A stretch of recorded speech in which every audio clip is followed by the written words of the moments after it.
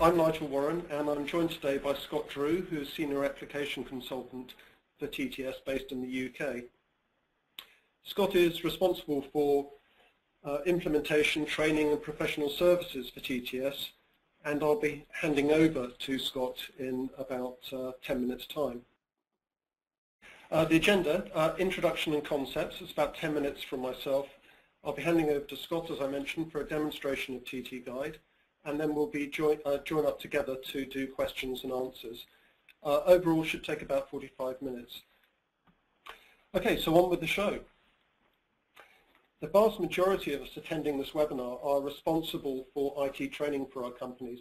So to a significant extent, whether our employees love or hate the IT systems uh, that we ask them to use is dependent on our success to make learning happen.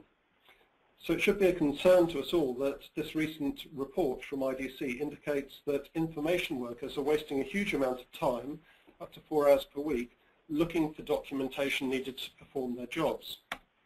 And worse, that in 50% of the cases, that search is unsuccessful. So what's the impact of this on your businesses? Inefficiency, obviously, frustrated employees, mistakes that might include compliance risks, and ultimately poor customer service. Inevitably, the process and system changes that your company rolls out risk worsening this uh, until employees master new ways of working. So let's consider the impact of uh, implementing and uh, changing IT systems over time. This timeline indicates a typical system lifecycle. Systems like ERP, CRM, etc. are implemented they're exploited and then subject to periodic upgrades.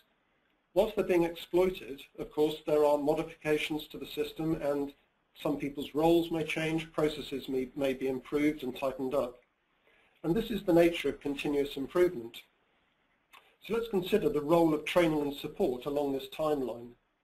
Firstly, training, as indicated in orange here, rises steeply in, in value at times of implementation upgrade but declines again rather rapidly. The sort of baseline importance or value of training is likely to be dependent during a business's normal phase on how many new joiners you have uh, joining your company or how many people are moving from, from one role to another. By comparison, the value that support delivers to the efficiency of your organization lags behind training. Peak demand will be after go live or upgrade as users need help getting accustomed to new ways of working. But in my view, the residual value of support is higher during business as normal. And that's because you cannot realistically drag everyone back into training or expect them to immerse themselves in e-learning just because they've become rusty with some seldom used functionality or because you're rolling out minor process or system enhancements. So this differential between the value of training and support may, may really depend on the amount of continuous improvement, as we call it, uh, that is going on in your business. The trouble is that continuous improvement is hard to do well. It after all implies continuous change and the need to communicate and support that change consistently to your employees. Done badly, it's likely to seem like continuous frust frustration. Will these people ever stop tinkering why do they keep changing things? I'm fed up of being notified of, notified of changes by email. So I think there's a wish list for people like us in response to this context of continuous improvement. What do we want? We want to alleviate the frustration on the part of our employees. We want to improve support for moment of need learning and we probably want to reduce the waste of events-based training. We want to provide a consistent approach to this provision of support and uh, moment of need learning, a consistent approach that works across lots of applications rather than a stovepiped approach which is different for one system to another. And also I suspect that you would want to leverage existing content rather than having to reinvent the wheel. Which is why I think there's a definite trend in learning organisations towards delivery that is more self-service, moment of need, and collaborative, rather than training that is formal and planned. And this is the principle of the 70-20 framework that supposes that the reality for the way people learn at work is 70% through experience and practice on the job, 20% through their conversations and networking with colleagues, and only 10% formal planned training. Or more starkly, that only 10% of the learning that is likely to take place in your organisation is truly formal and planned, and that 90% is experience and social. So why are learning organisations moving in this direction? Some aspects of this are certainly not new. The forgetting curve, uh, uh, which was, uh, which was uh, researched by Hermann Ebbinghaus, uh, was way back in the 1890s, and he concluded that people forget roughly half of what they've been told within one hour, unless they've got the opportunity of putting it into practice. Now, whilst that may not be new, it's terribly relevant in the context of an enterprise software deployment. If you need to train hundreds or perhaps thousands of users how to use a new ERP system before you go live, then clearly many of these people are going to be trained long before you go live and they therefore have ample opportunity for, to forget what they've been told. But apart from the issue of timeliness, I think that uh, organisations are seeking to escape the scheduling nightmare that comes from having to train hundreds of people.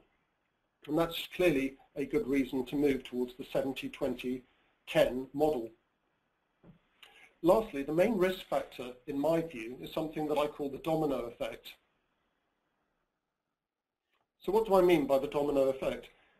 Well, quite simply, that in an IT training project, training is the last piece of the domino to click into place. If the project schedule slips in any way, it's good old training that will, that will get squeezed at the end of the project plan because uh, very often indeed the go-live date is fixed in the calendar. So plan A may have been that you'll train everyone thoroughly, and plan B becomes, well, we'll just have to deliver as much as we can in half the time. Your training plan might be further derailed by late availability of the training system so that you're unable to finish the uh, uh, development of training materials. Last minute changes to the scope of the project. Uh, very often we see postponement of features or modules to a later phase. And any number of communication breakdowns uh, can happen between a technical team and trainers. I also witness a lot of TNA guesswork because very often the implementation of something like SAP or Oracle or other wide-scale systems it, it is at the same time as remodeling the organization, perhaps work moving offshore or into shared service centers. So don't be surprised if people can't actually tell you exactly what it is that each role will be performing. It may be highly sensitive and political. The last and uh, perhaps uh, most important factor is that very often training materials become redundant.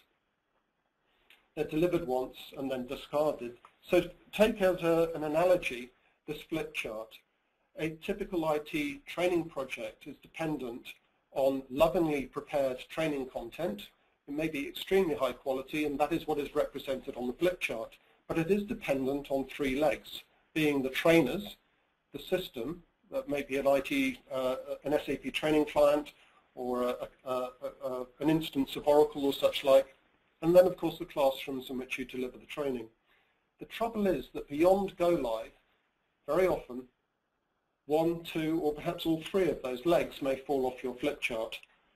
Trainers may have been uh, project staff co-opted onto the project from uh, the business and they go back to their business roles. They may have been consultants who leave the business once you're successfully go, uh, have uh, gone, gone live. Classrooms aren't in the right place for moment of need training. They're not uh, a solution for moment of need learning. And the training system may well get decommissioned by IT because it's not being used all the time. So there you have it even though you had some fantastic training materials, they're liable to be um, consigned to the waste bin to some, some degree once those three legs fall off the flip chart. So plenty of reasons to look for a way of doing rather more in the way of performance support, rather more in the way of uh, moment of need learning uh, than the, the old school. So we're going to look at TT Guide. It's a performance support solution that can help you address many of these issues because it provides context-sensitive help that works for multiple, multiple applications on a screen-specific basis. TT Guide is, in my view, different to typical documentation and e-learning products. And by analogy, I have on the screen uh, a sat-nav. A sat-nav does not provide you a lesson or a simulation on how to drive. It actually supports you in the task at hand. It helps you get from A to B. And that's really the principle between, uh, sorry, the principle of TT Guide. A couple of other important things to mention about it is that it needs to be fast uh, so that uh, people do not have to wait for help. And that involves very small file sizes. It needs to be easy to create the topics so that you can delegate responsibility to a vast number of content creators, such as subject matter experts, uh, to get the job done quickly. And it needs to be responsive to change. Uh, for example, uh, users can rate um, the content and provide feedback and improvement suggestions. So those are the principles of the product.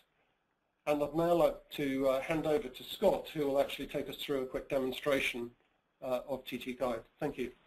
Okay, thank you, uh, thank you, Nigel, for that. So, what I want to do is around the next sort of 15 to 20 minutes, I want to provide some um, context and meaning behind what I'm going to cover. So, what I have on this screen is I have a variety of different users, and I guess uh, a variety of different functions that those users will carry out. Um, what I'll do is at the end of each of the demonstration sections, we'll revisit um, each of these areas um, before we then proceed to the next role within the system. So what we'll do at the beginning is start with the end user. So we'll look at the process of how we search for guides, um, complete various tasks, and then submit feedback. Um, I guess the next natural question in our minds might be, well, we've consumed the data, how do we go through the process of actually creating that data on the system? We'll have a look at that. And then finally, to sort of tie the workflow process in together, um, is to look at really the process of how the administrator would then go in and make um, changes to the guide and release it to the uh, to the user base. Okay, so what I want to do is I want to just um, bring TT Guide to life through a variety of different scenarios, and, and maybe these are scenarios that you may have encountered yourself within your own organisation. So let's keep in the back of our mind that um, we're an employee and as an employee, we've um, suddenly developed a chip in the windscreen of our company car. And what we want to do is we want to make sure that we are reporting it to the organisation in the uh, in the right sort of way. So we've got a variety of options here. So what we can do is we can say, well, actually, maybe we go ahead and contact the help desk, but often help desks are inundated with other support calls. Um, but it might be a case that remember, remember, remember a colleague uh, had also experienced a similar issue, uh, and they told us that it was actually within SAP. So TT Guide sits within our system tray at the, uh, the bottom side of the screen here. So I'm just hanging my mouse over the top of that. Now, to gain access to the guide, all I do is I just go ahead and click on it. And what the guide will do is, when I click on the guide, depending on what application I'm currently in, it will provide me with context-sensitive information. So as I'm starting to change to these various different applications, if you notice what the guide is doing is it's updating in accordance with that screen that I'm currently on, with the application that I'm currently in at the moment. Um, and I guess a challenge that many of us find within an organization is when we're looking for things like help and we press F1 on a keyboard, within Microsoft for example, sometimes it's a fairly extensive process and it can cause some frustration for us to find that information. The great thing about Guide is, is that it's providing context le level information um, in accordance with the application that we're in as well. Okay, so what I'm going to do is I just want to go ahead and um, have a look for a specific guide. So it could be a case that I'm saying, well, actually, in reality, I don't really know which specific guide I'm looking for. I know ha I have a fault on my company car. I now have a, a chip in the windscreen. Um, but how do I make sure that I'm entering the correct information. So what I can do is I can take advantage of a variety of keywords, meaningful keywords that I can associate to these different guides in the list here. So in reality, it could be a case that I'm saying, well, actually, it's um, you know, it's broken, it's a windscreen, or maybe even use the word fault, for example. So as I start to key in the word fault, very much like Google, what it's doing is it's providing an autofill of the information that you see on the screen here. So what I'm going to do is just to select the fault uh, on the screen there, and it's updated the guide accordingly, which is what we see here. The other thing to note as well is when I hang my, my mouse over the top of the information that's being displayed to me following my search result, is it's giving me an idea as to how often this guide has been rated, how often it's being downloaded. Um, so the way the search window works is the most highly rated guides are displayed at the top of the search window, whereas the lower rated ones are displayed um, further down the window. It also provides me the, with a brief synopsis of what the guide is about, so at least then it helps me to understand whether I've selected the right guide as well on the screen. So in this case, as a user, what we're going to do is just to select this malfunction report. Now, a few things to note on the screen here. Um, what TT Guide has done is it's augmented over the top of the live application. So what we're about to do is to enter information in SAP Live on the screen. And the other thing that it's done is it's also grayed out everything that's irrelevant to me as a user. So it's making sure that I focus in the right sort of way um, when I'm entering this information. One final thing to consider as well is we provide validation. So what you can do is you can really ensure that your users are entering the correct information on that screen. So as I'm starting to click on the wrong buttons that are outside of the instruction here, it's flashing, in other words, to say, well, look, Scott, what you need to do is enter IW21. Um, so in order to enter your windscreen chip, it needs to be put in this IW21 transaction within SAP. Now, I'm feeling particularly lazy today, so I can have the system automatically enter the information for me. So I can go ahead and click on um, enter on that screen. And the other thing to note also is, as well is, because I don't enter this very often, I need to submit a not notification type. Now, the reason why we've got the different notification types listed on this screen here is, if I just click on this option on the screen, there could be a fairly extensive list of notification types that are available. Now, as a user, I'm not really sure of which notification type to enter. So what we've done is we've taken the pain away from that, and we've said, well, actually, we'll narrow down the list in terms of those different notification types. So again, what I'm going to do is just to select M2, because I know it's some form of malfunction in the system, and then just carry on um, completing the steps that TT Guide is sending me through. So currently, I'm on step 6 of 15 in the system. Now, the other things to note also on here are as I'm starting to navigate through um, the various different instructions that are being displayed to me, effectively what the guide is doing is it, it's actually skipping over anything that is not relevant to me as a user. So effectively what we're trying to do is we're providing guidance to make sure that we improve things like consistency, we increase the quality of data entry, to make sure that people are entering things in a standardized way. So in this option here, what it's asking me to do is to go ahead and enter my uh, vehicle registration. So I'm just going to put a vehicle registration in there on the screen. Go ahead and click on enter. I need to make sure it's reported by my, oops, reported by myself. And, and, and uh, what it's also doing is it's telling me here, um, please provide a description of the damage. You know, tell us whether it's visible, um, and is the item still usable? So this is really another good example of where we're trying to enforce consistency for when users are entering information into the system. So we're making sure that it's fairly standard and people are entering the correct sort of information even when it's on uh, a free text input field, which is what we see now. So I'm going to say windscreen chip um, damage, oops, damage uh, over driver side uh, is visible uh, and not usable. Okay, so then just go ahead and click on enter.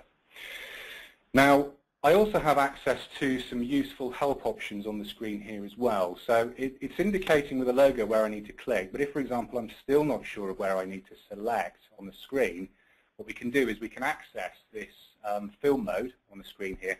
And what that film mode is doing is it's providing me with a brief preview of where to click on the screen. Now, if I'm unsure as to what this flag is about, I can take advantage of the live tooltips inside of the SAP application. So this has actually put in uh, the process, so we'll just go ahead and click on that.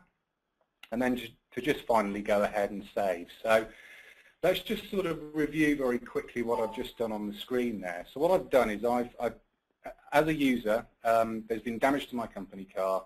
Uh, I needed to go into SAP and I needed to submit a notification um, to instruct that, uh, that I have this damage. Now, the guide is telling me that's it, and it's saying the SAP system should now show you the appropriate number, which it does in the live application on the system tray just down here. And the next step to go through is to just go ahead and click here. So once I've done that, what I'm able to do is I'm now able to provide rating of this guide based on a five-star rating system here. So I can just hang my mouse over the top. And I can also provide feedback to the uh, administrator of anything that I feel would be useful for other people to see changed in this guide. So I'll just copy and paste that in there. And what I'm saying in this case is, you know, the guide could be more detailed for reporting a car fault. I didn't feel there was enough information. And the final step is just to go through and submit that feedback. So after I've submitted it, what will happen is that information will be then sent to the guide base, which is something that we'll talk about um, a little bit later on. Now, let's take a look at another scenario. So let, let's say, for example, um, it's six months down the line, and again, we've experienced another fault with our company car. This time, it's actually an oil leak.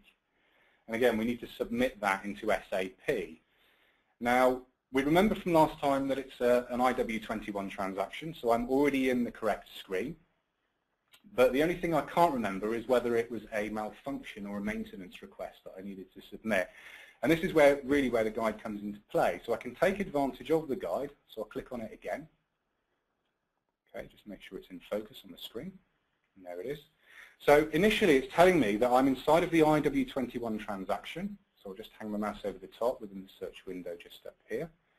And what I want to do is, again, I want to go through and create a malfunction report. Now, there's something slightly different from last time. Now, the thing to note is, is it's now dropped me straight into step 5 of 15.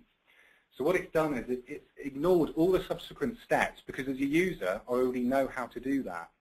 So what it's done is it's useful enough to drop me into the correct part of the guide where I need to submit that information.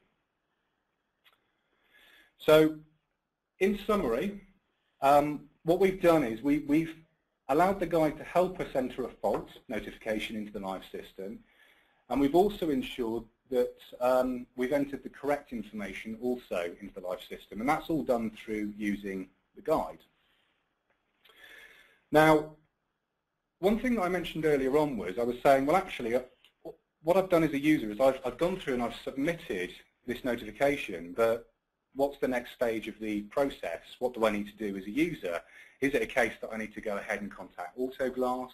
Is it a case that I need to um, speak to my manager for approval? How do I know what the next step is? How do I know what to do? Now again, this is where the guide comes in particularly useful. And one thing that we've seen um, a short while ago was, was really this guides tab, which is what you see at the top of the screen. And the guides tab is very much what Nigel was saying. It's very much a sat nav. It's taking control of the screen and it's guiding you through what you need to do on a step-by-step -step basis. The other thing that you also have access to is the Documentations tab. Now the difference between the two is the Documentation tab is providing you with um, quick reference material on a context-sensitive level. I know that because it's telling me it's within SAP, IW21. And the other thing that we can also do is we can also provide context-sensitive information based on a field level as well. So what I've done is I've clicked on the notification type, and it's now brought up access to a glossary on the screen here. So as a user, I'm saying, well, actually, what's the next stage in the process? What do I need to do? And it could be a case that I'm saying, well, I don't really understand what the difference is between the malfunction and the maintenance um, request, that M1 and M2. So how do I, as a user, understand what the difference is between those two? And this is where the guide comes in particularly um, useful. So what I can do is I can go ahead and click on this malfunction maintenance. And what it's done is it's given me access to a glossary. Now one thing to point out at this stage is all of the information that's being accessed off this documentation tab is coming from our main product, TTKF, which is a separate licensable component, and it's coming from um, the glossary. So some of you out there will already have um, access to this functionality. Um, but if it's okay, what I'd like to do is just to explain the way these different, um, uh, these different options work to everyone. So just walking down through here, we have access to different process flows. We've got related documents with various policies in, as well as access to the original e-learning that we might have taken part in several weeks ago. So what we're able to do is we're able to bring in any legacy content into the system here. So we've got a variety of Excel sheets, we've got PDF and Word in there as well. But what I want to do is just to take us back to what we were talking about earlier on. So I was saying, what's the next stage in the process? You know, do I contact Autoglass or is it a case that I speak to the manager? So what I need to do is I can select this option here. And what this will now do is, let me just close this down a second, is it will now bring me into the web publisher. So the web publisher is an automatically published website. This synchronizes automatically with TTKF, the main server. And what we're able to do is, as an employee, as the user, this is the stage we're at at the moment. So we've submitted this fault request within SAP. And what we can see is before we go straight to contacting Autoglass, there's a couple of stages here that the manager needs to deal with. So in other words, they need to go through and review the notification and send the approval out before we then go into uh, um, into contacting Autoglass. So, and again, this is another separately licensed component of uh, of TTKF. Yeah. Okay. Um, and then finally, I just want to introduce us to the e-learning and procedures as well. So one thing I was saying was if we want to have a quick refresher on any tutorials that were created originally, we've also got access to that as well. So if I go ahead and I click on the play button on the screen here, what it will now do is it will now provide me with a step-by-step -step guide of what I need to click on. Okay, let's just go ahead and close that. So as I'm sure you agree, what we're seeing is fantastic um, reference to information that's available at the click of our fingertips. You know, we're not having to scroll through a variety of different help guides, and it's all available on a context, context-sensitive um, level on the screen there. So let's just have a quick um, breather a second. So let's just examine where we are in this process here. Let me just close that. So what we've done is we've looked at um, uh, submitting um, a help request based on fault, the word fault, and that enabled us to go through and create this malfunction report.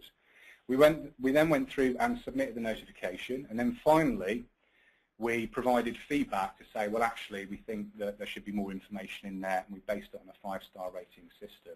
So the next phase to look at is, is really around the author phase, this second stage here. So again, one of the things I was saying was, I guess naturally the next question that we might be asking is, well, that's fine, we've gone through the process of consuming that uh, information, but how do we make sure that we're able to create that? So and what I want to do is I want to base this on a scenario that, again, maybe you as a business have, um, have come across many times before.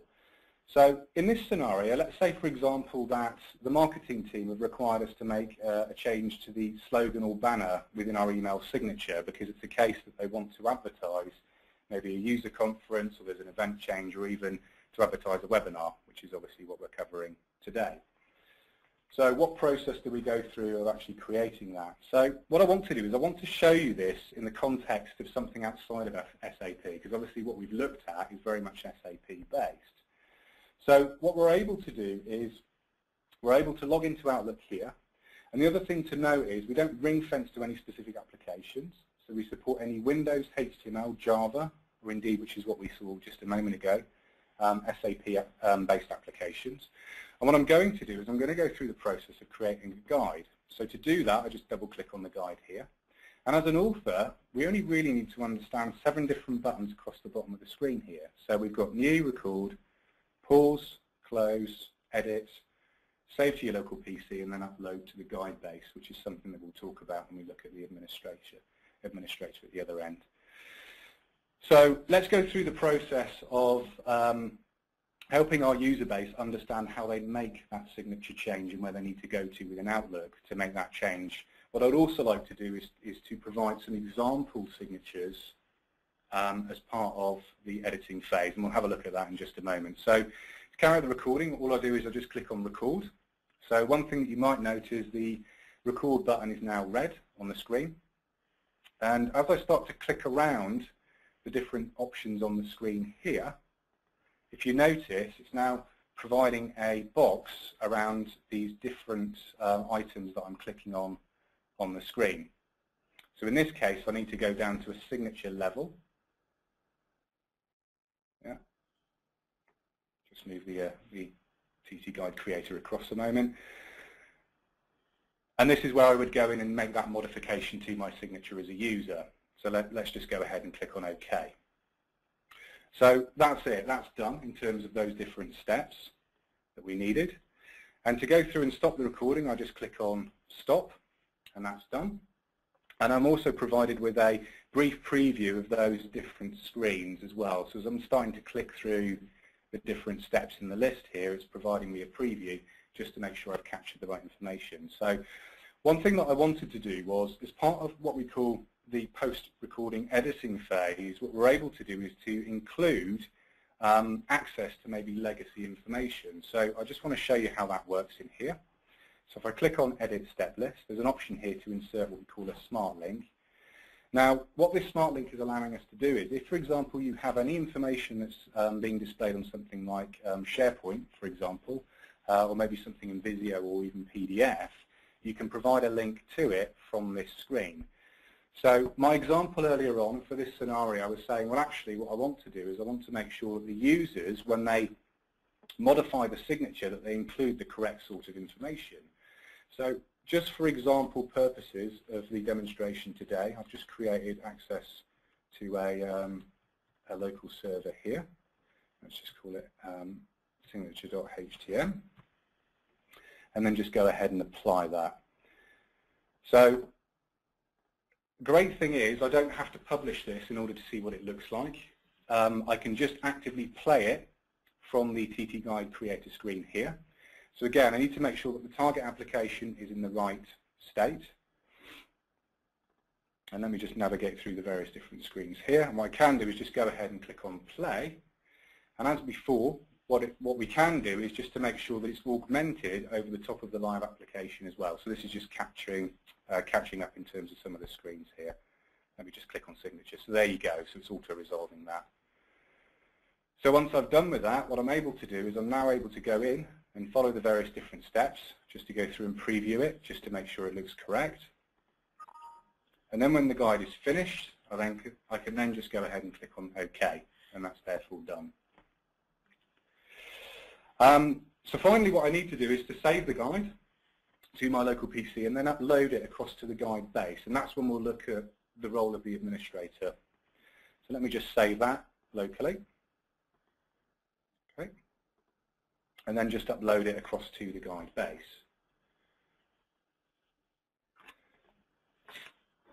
Okay. So again, let's just revisit our presentation screen here. And just take a quick review in terms of where we are in this process. So um, what we've just covered is um, the role of an author. So as an organisation, we've been provided with a mandate to make updates to, to, various signatures because we want to advertise a webinar or whatever else change that we need to, and it's been mandated from our marketing team. So as an author, we've gone in and created a new guide. We've recorded a new guide within Outlook. Um, we then made some brief editing changes and then uploaded that guide across to the guide base. So the next thing to have a look at is really the role of the administrator. So let's take a look at that now. So let's just talk through what the guide base is. I'll just open it up for us. So the guide base is a centralized storage area for your various different um, guides that have been created. So the guide base is really allowing the administrator to manage content, approve content, maintain things like metadata on the screen, um, um, dispatch um, approved content to our user base, react to things like feedback, because obviously we provided some feedback before on the screen as well. So there's a variety of different things that the administrator is able to do.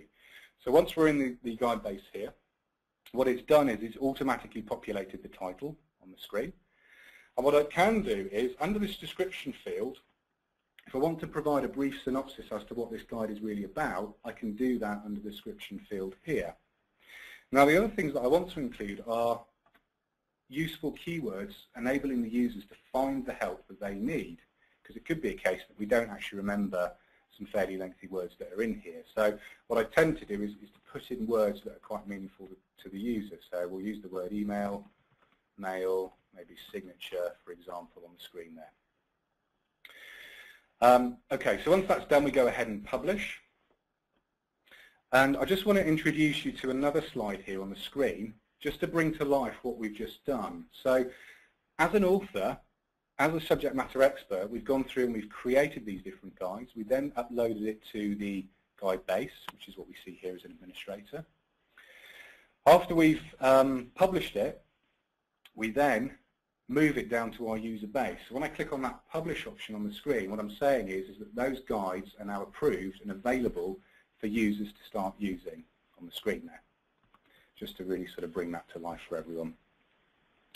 And then finally, um, I just want to introduce you very briefly to this reports tab. So as an administrator, if for example we've got a high number of low rated guides on the screen, what we can do is that we can gain access to those various different guides that are rated fairly lowly, low in the list, uh, and then make the necessary changes to that guide to then resend out to our user, uh, our user base.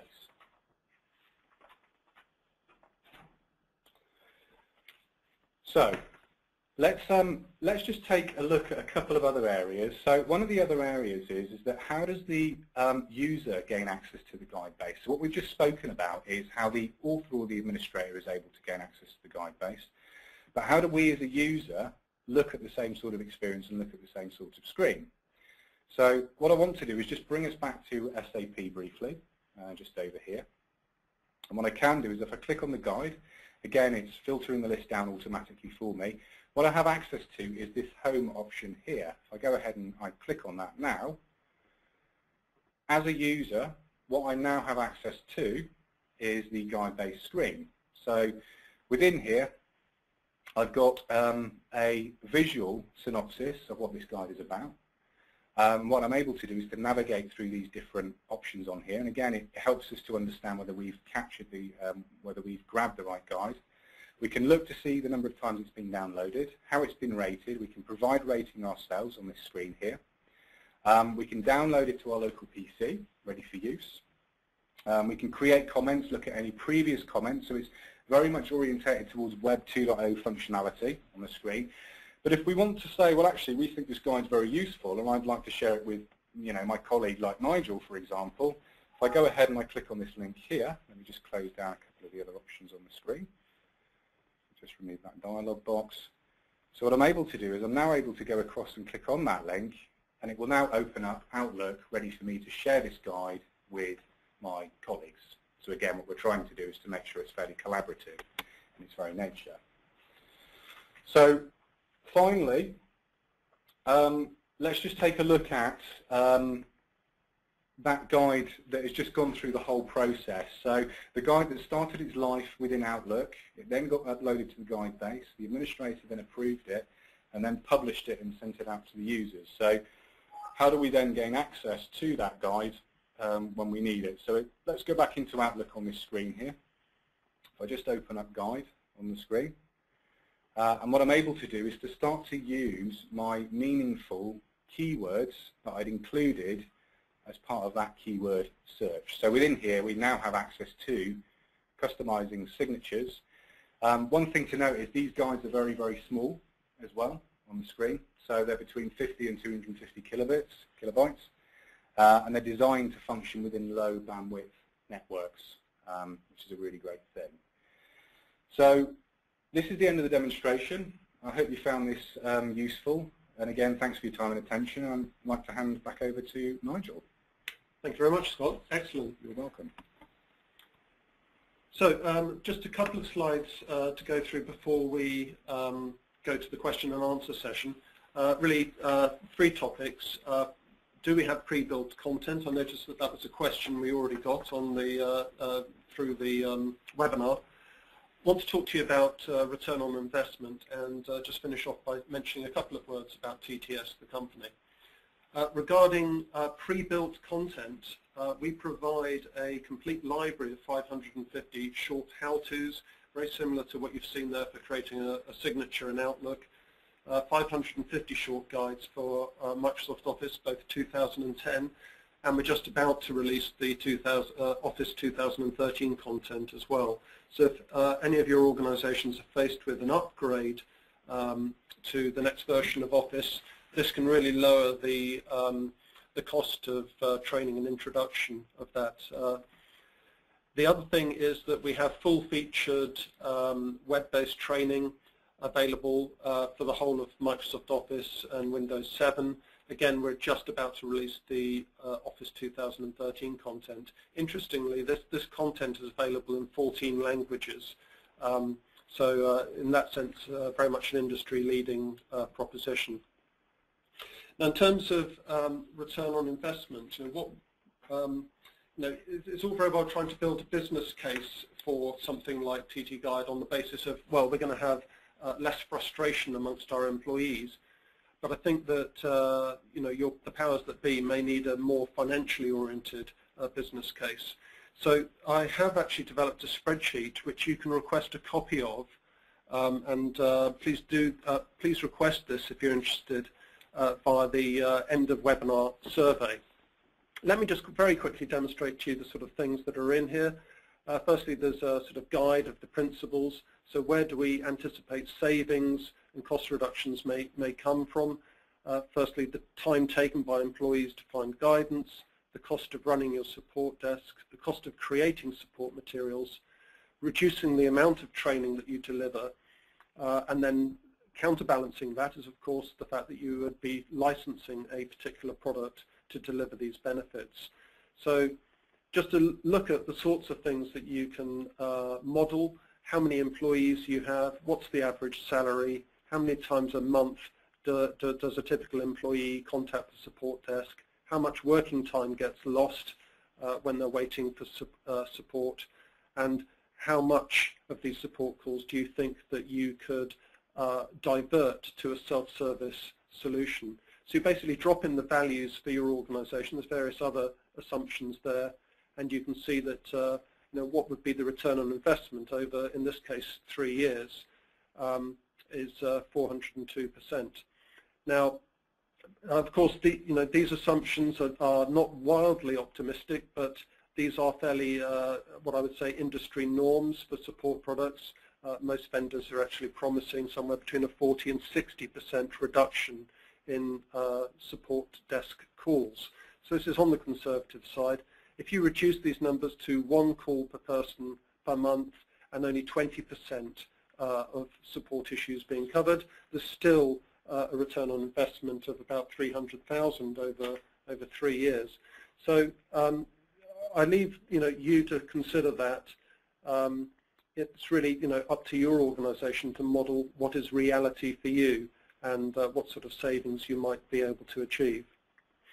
Okay, we're about to do the question and answer session, but very quickly, uh, a couple of words about TTS. Uh, we are the European leader for talent management and corporate learning, uh, particularly in the IT and SAP environments. We have 10 offices across Europe, over 170 dedicated employees, and actually, uh, uh, I think very impressively, a, an average length of service of more than five years. We're growing consistently year on year, have SAP certified integration, uh, important only if you're an SAP customer, I, I warrant, uh, and uh, over 400 customers in Europe, Asia and America, uh, many of whom you're seeing listed across the bottom of the screen. Today's webinar has been about one of the software products um, that we have. Uh, Scott has mentioned the other one as well, TT Knowledge Force, or TTKF as we know it for short. Apart from that, uh, we provide training services, both from training needs analysis, strategy, development, delivery, administration, E-learning, which is in the form of pre-built e-learning content, such as the Microsoft Office content that I mentioned, but we also undertake bespoke content development projects using our authoring tools. And then in the world of talent management, we are a certified consulting company for SAP, uh, so uh, dealing with such things as uh, SAP HCM, or uh, as I prefer to call it, HR, uh, dealing with um, the SAP Learning Solution, the learning management system, also dealing with success factors learning management. So there's the sort of range of services uh, and products that you can get from TTS. So thank you very much. Uh, we'll now consult the uh, questions that have come in on my uh, screen during the webinar. And uh, the first of those I think we've already covered, which was uh, do we provide any pre-built content? Um, so the answer to that is yes, uh, the Microsoft Office content that uh, I mentioned. Uh, the next question we have um, is that uh, we have a library of existing support documents. Can you help us leverage those as part of um, this solution? So I think that was actually one thing that didn't really come across in the demonstration, Scott. You showed us building a link to um, intranet content, um, but in the rush I think we skipped over showing it. So I think there's a slide where we can very quickly make that point. Sure. Okay, so there's a couple of different ways of doing that. So one of the ways is to go through and create a um, uh, an external link uh, inside the guide itself. So the great thing about this is if, for example, I get to the end of the guide and there's additional information that I need from um, legacy content or I need access to SharePoint, in other words, we're saying, you know, if you found this useful, you may also find the following information useful. You can provide a link on that screen. The other area to do that as well is actually inside of the demonstration here. So if I just select the um, guide client again, what we're able to do is to integrate some legacy content into this screen here under the documentation side. So there's a couple of different ways of doing that, a couple of different options. Thank you, Nigel. Okay. Yeah. Uh, another question we have is, can you be a bit more specific about what applications TT Guide works with? And I think I'll layer on top of that another question, which is very similar, which is if we can talk about uh, the object um, recognition. recognition. Yeah. Yeah. Okay. Both both very good questions. So um, the system covers any um, Windows, HTML, Java, or SAP based applications. That's quite a broad range in terms of what it covers. Now, um, to relate back to the question that was asked about whether it's just screen capture or object-based capture, recognition on the screen, um, what I want to do is just to run a quick um, guide uh, on Outlook again. So if I just double click on this, uh, let me just bring it up one second. Let's just create a guide in here. Now, if I click on the record button on this screen here, if I now start to hang my mouse over the different options that are on the screen, if you notice what it's doing is it's pulling information out at an object level. So it's not screen capture on that screen. So what it's doing is it's providing quite a detailed level of information, things like names, IDs, and various other things on there as well. So uh, as I'm sure you agree, it's a very detailed level of capture that's happening. Um, this is also consistent with our main product as well, TTKF, and I know that some of you on the call already have that today. It actually leverages exactly the same technology uh, in terms of capturing the, uh, uh, the recording. Thank you, Nigel. Okay, excellent. Yeah. And uh, I think we'll just quickly try and squeeze in two more questions. One is, uh, you've mentioned TTKF a couple of times. Can you explain uh, what that is versus TT Guide, and what can we uh, what can we achieve with TT Guide on its own? Okay, all right. So uh, again, a very a very good question. So um, everything that you see on the documentation tab on the screen here is all being updated, managed, and maintained in our main solution, in our main product, TTKF. So um, when it comes to creating these various different process links, if you want to insert any legacy documentation, or indeed leverage some of the offline e-learning that's already been created, that's all, that's all done through our separate product, which is a, a separately licensable uh, licensed product on the screen. Um, the other thing that was also part of the TTKF product was this screen here. So when I click on the process link, it gives me access to the web publisher. So again, that's another separate, separate licensable component. Um, the TT guide is, is, um, is really this bit here on the screen, the navigation. Okay. Yeah. And I think this will have to be the last question, uh, which is um, I was expecting to see more collaborative capabilities. Uh, what's your strategy for collaborative learning? So um, I think yeah, we've got a slide that covers that quite well. Uh, uh, in fact, yeah, I'll explain this. So um, the, the, idea, the, the, design principles of TT Guide are really to have a simple, lightweight product that uh, can really be used to, um, you know, create or, or, have the capability of creating guides using a mass number of authors. Um, so all of your subject matters, sorry, subject matter experts can be um, enrolled in the process of creating a library of support content. And that's really the only way you can, in my way, uh, to my way of thinking, create a, a, massive amount of content in a quick period of time. So we wanted to keep the product simple. Um, and there, there are so many different social collaboration platforms on the market. There's Yammer, uh, there's Chatter, uh, there's um, you know, SharePoint to an extent itself, um, there's uh, Tibbr, there's, there's various others. Now these social platforms are brilliant, but what would equally be brilliant, I think, is the ability to embed links in those sorts of platforms. So if people are discussing or looking for help, uh, and the answer is best uh, provided by uh, a demonstration or a guided tour of how to do something, then why not just put a link in to that social platform that launches TT Guide uh, and that I think is the sort of best of both, both worlds. So we really concentrate in, on a, a simple, clean product that is really quick and accurate to capture screens uh, and, and create this sort of guidance and leave social platforms to do what they're best at. Right, so uh, with that said, uh, we've reached almost the top of the hour. So I wanted to just say thank you very much indeed for attending. Um, possible next steps and who to contact. Um, I'd like to thank Skillset for inviting so many of their uh, customers to today's webinar. So if you uh, came to this webinar through Skillset and you have questions such as we see on the screen here, please um, go back to Skillset. You might be interested in requesting a proof of concept, so we show you how this works for your particular software environment. You want, might want to request the return on investment spreadsheet, um, and you can do that via the survey in a moment.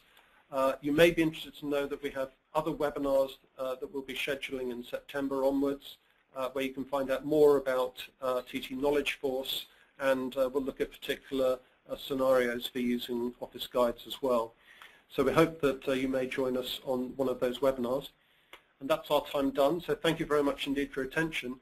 And uh, the webinar will now end, and please do complete the survey. We'd love your feedback, and also we look forward to hearing from you. So thank you very much.